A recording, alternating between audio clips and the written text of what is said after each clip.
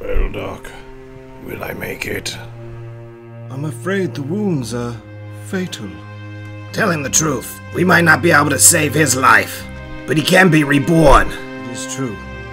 With your unique Godmaster abilities, there is the chance to repurpose your powerful components into a bold new form. But I must warn you, the Ginrai we know would cease to exist. If this is to be my end, allow me to be reborn so that I may fight Destrons again.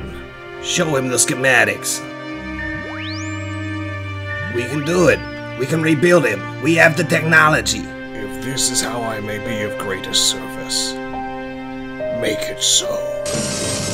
Better than he was before. Better, stronger, faster.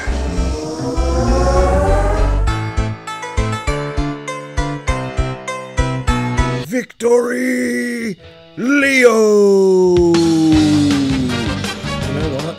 For some strange reason, part of me is actually more excited about this guy than I am about Star Saber. Ugh.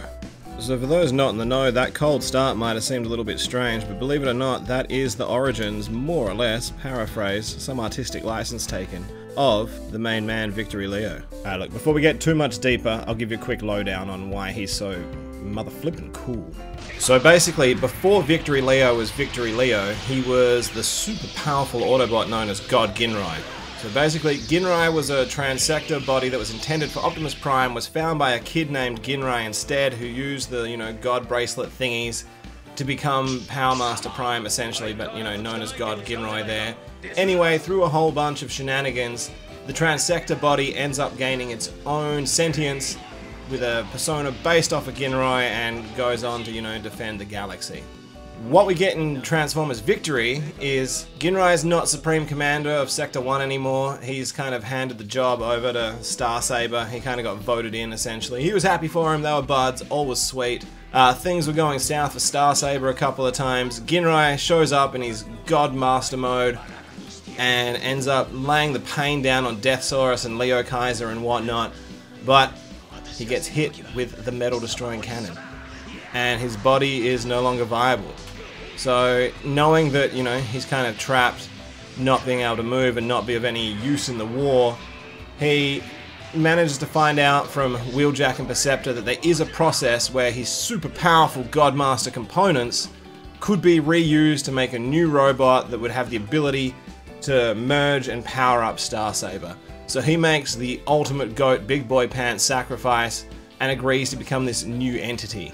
What's really cool about it is it's not just Optimus in a new body. By becoming Victory Leo, Ginrai essentially dies and is reborn. He has Ginrai's memories, but he's not exactly the same because of the new body, which they soon find out when he's like beast mode overpowers him and you know, he starts off he's not quite the Ginrai that everybody knew and loved and you know, it's a whole arc for him to find his place and work out where he fits in this new world, but God, it's cool. He really lays the smackdown on everyone, and that power up is phenomenal.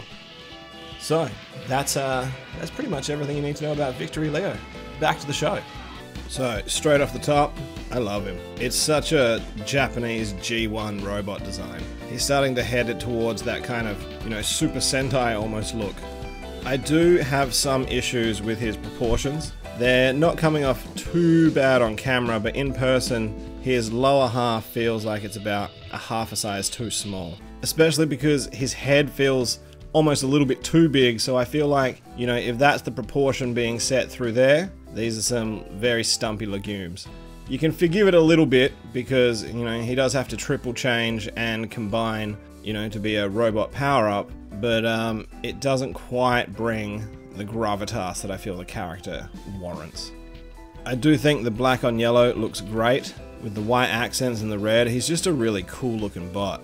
The gold on mine is in pretty good condition. There are a couple of, you know, flecks of dust and stuff in it.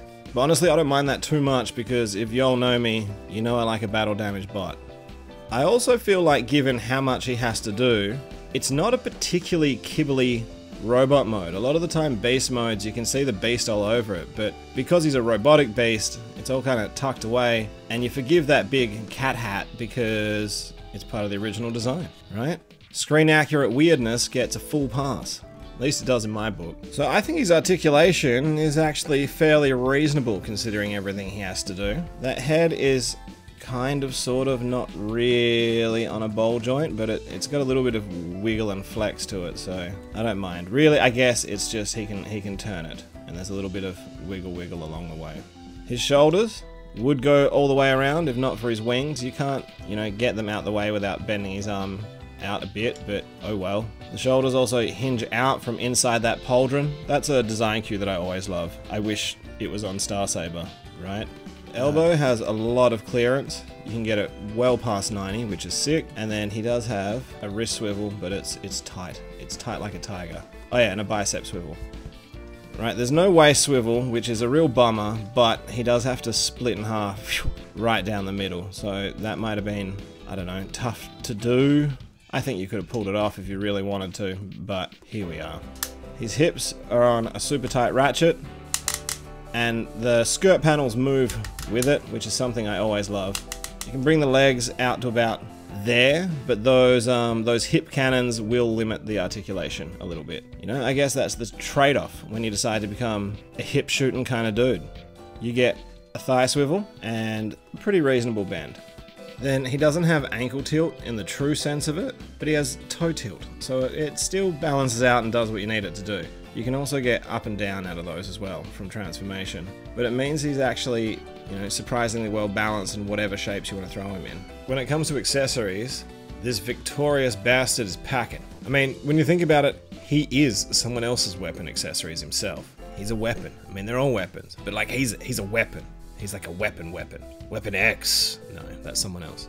As we've already seen, he comes with his shoulder guns, which you know I left on from the get-go because it's it's such a iconic element to his visage.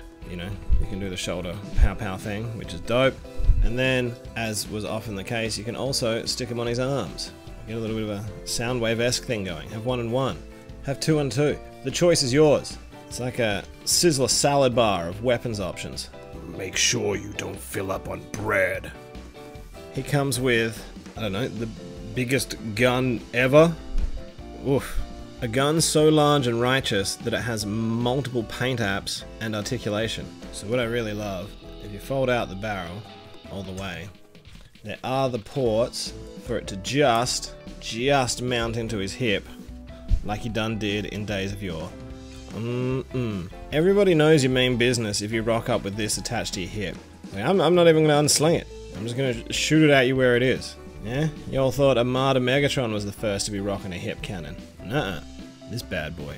He invented the game. And obviously, all of this accoutrement is Blast Effect compatible.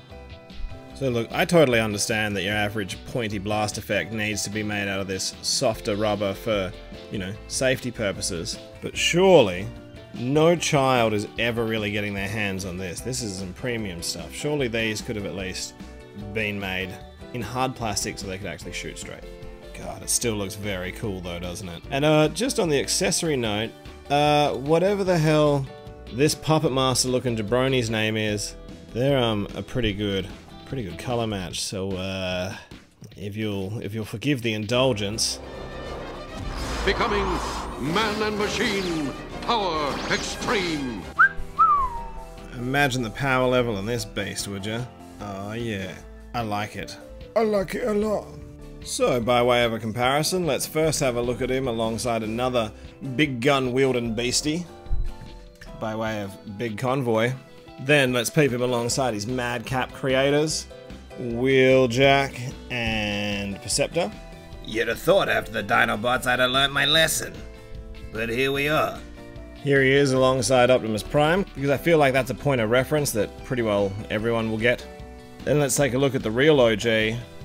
Oh, original Victory Leo.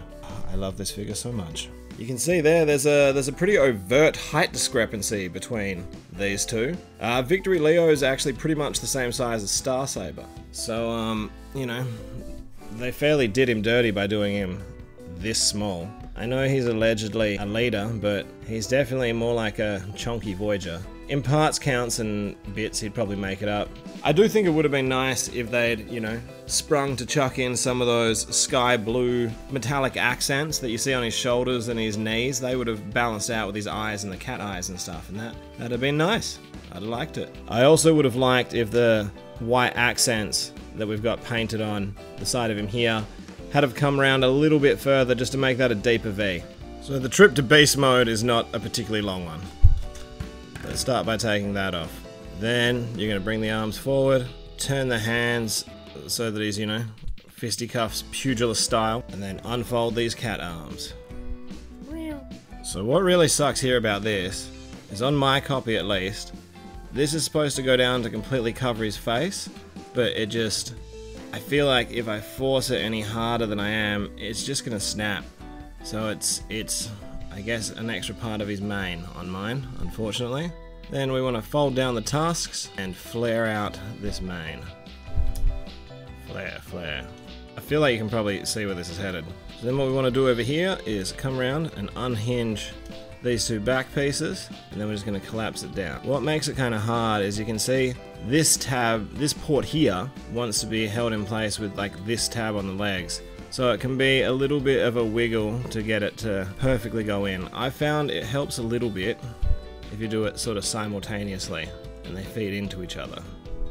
Before you collapse those legs, unfold these, I don't know, tail pieces I suppose. Square it all up and this will tab and peg together. Then we're going to come up here and this is another piece that's a real goddamn nightmare to try and get to. It helps you fold these out the way. Yeah. Fold that down, then undo the legs, kind of just sort of pin into place. And uh, that's that's basically our boy's lion mode. I can see why they never showed us photos from this angle. This this does not look great. This is not a good looking beast. But it works in that sort of Predacons way where it's a real G1y looking beast. So, you know, you forgive it. I don't know, I find I forgive a lot of it. Especially once you go and get this giant gun, fold that barrel down to get this peg, so this is going to slot and peg over this nubbin here. There we go. And look at that.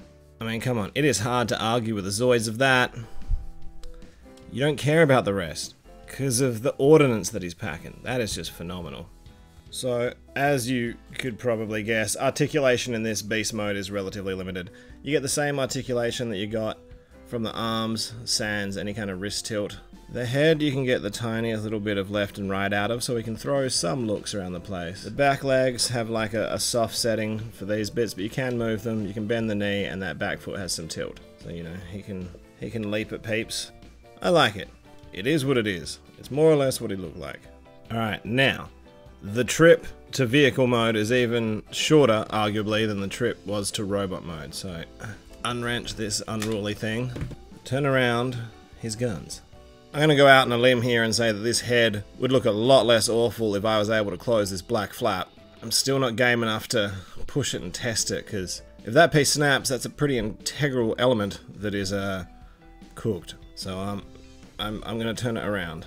So at least it's a cat face. That's something, right? Then you want to fold the arms around further and get them. So he's kind of doing a cat push-up, I guess, is the best way to put it. Then we can unfold the wings and then the top of the wing will tab in to the top of the arm, hypothetically, if you got it in just the right position. Yeah, yeah, yeah. Mm-mm, tidy. Then we're going to fold the leg back up, clip that toe on, and I believe it wants to sit around like this. Mmm. Mm-hmm, mm-hmm, okay. Enter Giant Gunnicus. So we're going to fold that down. We're going to use this articulation to fold that up I guess we could fold that too if we really wanted. Then this gun goes up this way, and on top it's got that notch where these little peg bits are going to go, hypothetically. And then this piece is also going to go in there. So it's a, it's a two-fold operation. There we go. I mean, I guess that makes it slightly more aerodynamic. Alright, so like objectively, yeah, this is this is a bad mode. This is no good. This is about as thought out as Star Saber's base mode was. But this is this is what he looked like in the show, more or less. He was a flying brick. He was a gun on wings. I don't know. It's not much in terms of being an autonomous spaceship, but if you sort of think of it more in terms of at the end of Avengers when Tony used his Godmaster bracelets to summon that airborne armor delivery system, that that's what he is. He's an airborne armor delivery system with the added bonus of being a gun on wings. I will say this, obviously Perceptor and Wheeljack are not aeronautics experts. They probably should have enlisted Ace McLeod. So yeah, this has been a wild ride. This is where we're going to leave it, but because part three, oh yeah, we're bringing Star Saber back into the mix.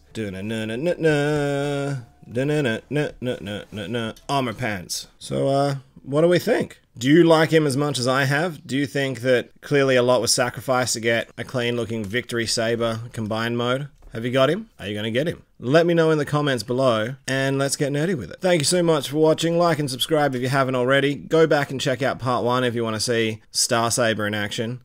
We'll be back for part three where we're going to get the two of these combined and have a look at them together. Oh, yeah. Let's say go!